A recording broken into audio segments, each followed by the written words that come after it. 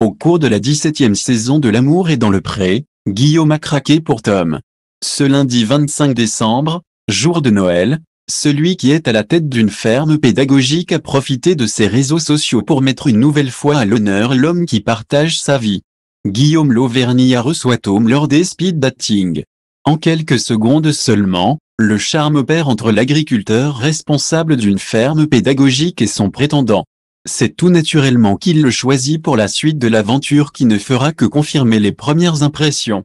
Deuxième Noël pour nous, toujours cette passion commune des animaux et cette joie de vivre ensemble. Nous vous souhaitons à tous un joyeux Noël. Que vous soyez seul, entre amis ou en famille, que la paix vienne dans vos foyers. Que l'amour vous entoure et que les étoiles brillent pour tous ceux qui sont dans nos cœurs mais haut dans les cieux. Beau Noël à tous, bis de paix et d'amour Guillaume et Tom, a-t-il écrit, en légende d'une photo du couple, prenant la pose aux côtés d'un tableau représentant un bison. Comme tous les couples, Guillaume et Tom ont dû s'adapter lorsqu'ils ont décidé de vivre ensemble. Après des mois de discussions, de travaux et d'aménagements, l'agriculteur et son chéri ont enfin les portes de leur nouvelle boutique installée sur leur ferme pédagogique. Un projet ambitieux qui a donné du fil à retordre au couple emblématique de la 17e saison de L'amour et dans le pré. En effet, ce magasin de souvenirs et de produits locaux a provoqué quelques étincelles entre eux, comme l'a confié Tom dans le dernier épisode de Famille d'agriculteurs, diffusé en avril dernier, sur RMC Story. On n'était pas forcément d'accord sur tout, a-t-il révélé face caméra. Pour autant, Guillaume et Tom ont su surmonter cette épreuve et en sont ressortis encore plus forts.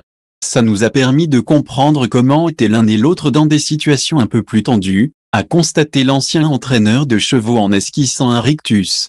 Et ce n'est pas l'agriculteur de 35 ans qui dira le contraire. S'il est heureux d'avoir formé une bonne équipe avec sa moitié sur ses travaux, il a avoué que cela n'a pas toujours été très simple. On a eu des moments hauts et des moments bas, forcément, a-t-il reconnu. Cependant, chacun des deux hommes a su mettre de l'eau dans son vin pour faire avancer le projet. En discutant, on arrive à faire le point sur tout. Voilà, c'est un joli résultat.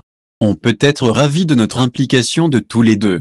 Et pour cause, cette boutique représente plus qu'un simple aménagement aux yeux du couple. Je crois que ça scelle aussi notre travail ensemble et aussi notre vie à deux, a conclu Guillaume. Tout est bien qui finit bien.